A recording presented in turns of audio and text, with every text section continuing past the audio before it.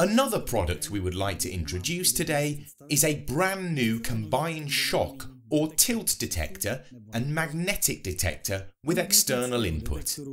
This product completes the range of perimeter detectors. The detector is equipped with bidirectional asynchronous communication, which allows remote changes in the internal settings while saving the battery. For this reason, it is only compatible with JA103K, JA103K7AH and JA107K control panels. As I mentioned, this is a combined detector of a shock or tilt and magnetic detector with external input. The detector is available in white colour. In terms of functions and features, in shock detection mode, it responds to vibrations and shocks caused by the pad to which it is attached. The shock sensitivity can be adjusted automatically or manually on a scale of 1 to 10.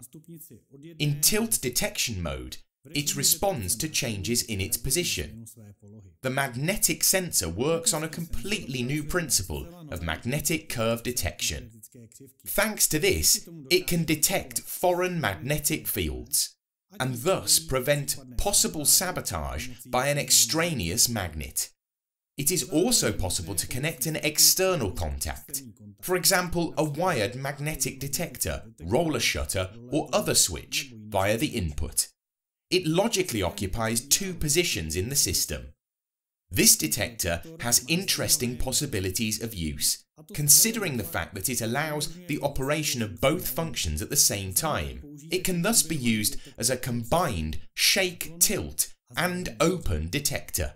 Combined with shock and magnet detection, an alarm can be triggered when a window or door has not yet been opened to prevent further property damage or burglary or a programmable output can be activated. For example, to light a lamp using our smart plug. Magnetic contact or universal input may not always be used. Thus, the detector can be used as an ordinary shock or tilt detector to detect manipulation with the guarded object.